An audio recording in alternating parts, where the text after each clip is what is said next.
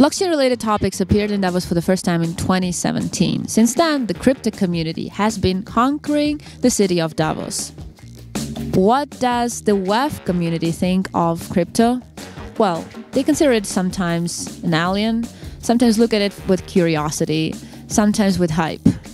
But the real crypto activity is not developing here in Congress area, but on the promenade of Davos. Davos has long been the spiritual home of the World Economic Forum, but a walk down the central promenade in town, you'll find a myriad of cryptocurrency and blockchain events that have taken over local shops in recent years. This is Hotel Europe, the home of the Global Blockchain Business Council. That right there is Blockchain Hub.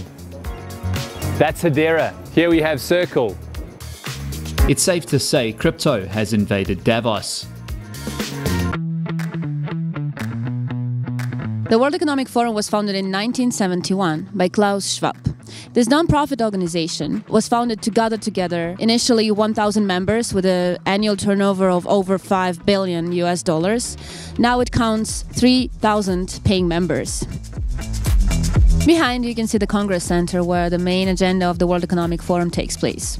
The theme of this year is cooperation in a fragmented world. Recession, globalization, challenges brought by the pandemic, challenges brought by those industrialists who are participating in these events. Conversations with the cryptocurrency and blockchain community paint an interesting picture. Inside the World Economic Forum, a select few drive thought and policy on the sector.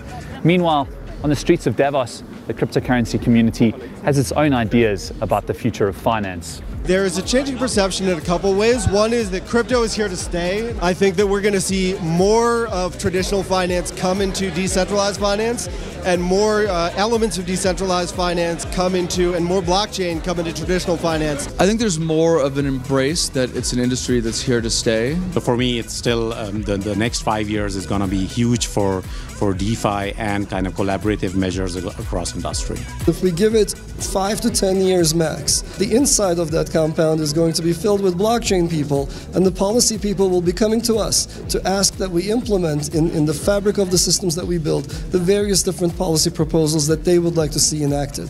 So that power struggle is in place. We're currently outside, and that swap is going to happen organically. And, and I don't think we need to force this. It's happening, it's unstoppable. You did tell me that you actually live in Davos, so you've you've seen the town develop over many many years. How have you seen the evolution of crypto and blockchain coming into Davos and being yeah. a part of you know an outside part of the World Economic Forum? I, I know, right? We are a little bit of kind of a second second WEF here outside, but you know the WEF has been an early early embracer of um, you know of blockchain of applications clearly it was more around tokenization web3 all of that right less about crypto even though TradFi may claim to understand crypto, they still seem reluctant to publicly engage with it. Do you think the, the two are removed from each other, or is there a lot more sort of synergy and, and conversations happening between the two industries? Davos is very public, don't forget that. It's by necessity, I think, that they need to shield themselves a bit. Credit Suisse um, CFO, I was told, is you know hugely you know bullish on blockchain, and he said, listen, this is absolutely necessary technology, and it is the future. Uh, it's just a question of when they kind of publicly kind of you know the, you know the landslide moment. So it's going to happen. There's a 30 year old right now does care. And in 10 short years, the person's going to be 40 and they're going to be in a position of power. And in 10 short years from there, they're going to be 50 and they're going to be mainstreaming the blockchain like the 30 year olds 20 years ago mainstream Web 1. There were two panels at the World Economic Forum this year focused directly on cryptocurrencies, which improves on last year's singular panel.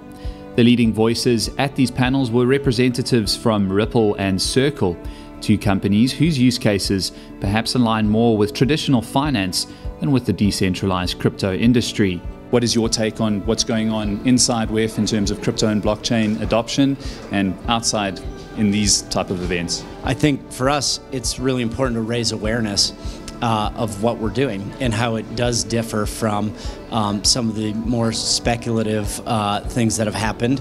We're out there talking to policymakers. We're talking to um, traditional uh, companies outside of tech um, who are looking at using USDC as a, a payment solution. We're talking to tech companies uh, to figure out how we might integrate with the work that they're doing. We're talking to humanitarian organizations. Do you think crypto and blockchain is here to stay in Davos? Yeah, I think it's actually the, one of the perfect places globally to have that conversation because you could literally have both both groups in that proximity and you kind of again we talk about banners of the various crypto firms and the like down the promenade but also you're kind of walking by traditional finance at the same time. So we have the ability and we've always been a bridge in the industry between the two. That's kind of what we've done from the very beginning. And on our ripple network of course we have traditional banks and we have very innovative fintech players and psps and we have to go back and forth and prove the use case to both. And so this is a place where we actually have to do that every day. Uh, we're not spinning and chasing, you know, ideas that there's really no audience for, uh, or things that people don't understand why they're actually relevant to their day-to-day business. That's what we're here to do. We just got to get right to the points uh, and get people alongside us to keep moving. Some individuals I spoke to believe there needs to be a wider representation of cryptocurrency and blockchain industry members driving conversations inside the World Economic Forum in panels and workshops. There was a prominent person that was invited to WEF mm-hmm. that we all know, yeah. but then the invite was revoked. No matter what's happening within the ecosystem, it's ridiculous to, to use FTX as a way to, to paint the crypto space. It just shows ignorance. We talked about the herd is coming, the herd is here. Yeah. We talk about mass adoption, mass adoption is here. We, we were very excited in 2018, like family offices are going to invest. Family offices are right here. I'm talking to them every day. So it's exciting times, man. It's really exciting times. And anyone that's out of the space now because they lost money and stuff, it's your loss. Yeah. It's your loss.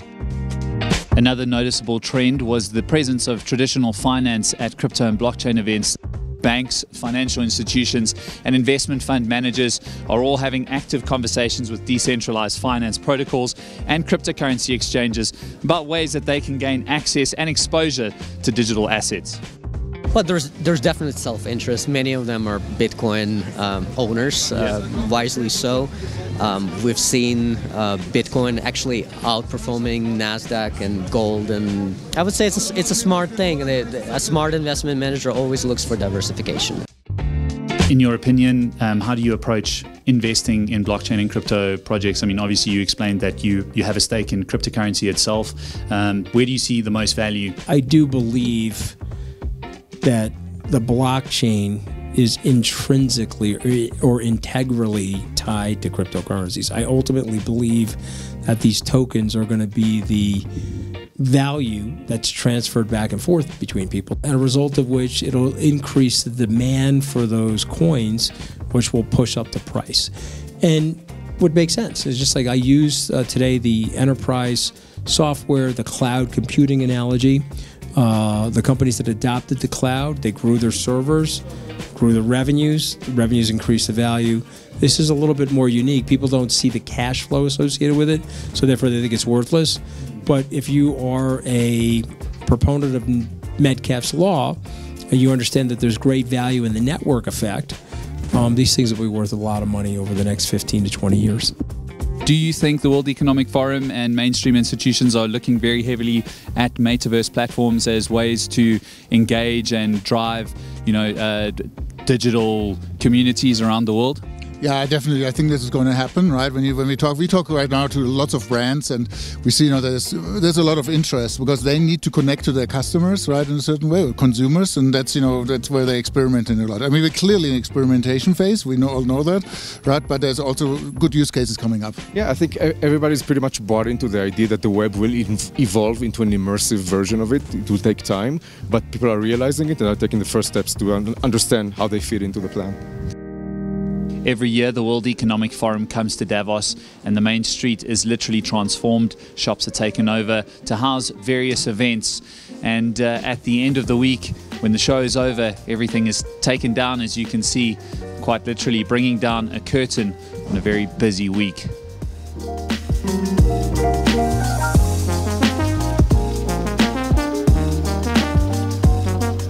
My overall experience with the World Economic Forum tells a story of two industries divided Just a handful of people are driving conversations around the adoption of cryptocurrency and blockchain, but it's not that negative. It seems that the World Economic Forum is really looking at the ways to understand cryptocurrencies, and blockchain technology adoption is already pretty ubiquitous. Meanwhile, in the streets of Davos, you see many, many crypto and blockchain events taking over town and traditional finance is making its way there anyway. It seems like cryptocurrency and blockchain is here to stay in Davos. It's only a matter of time until more proponents are chatting inside the World Economic Forum.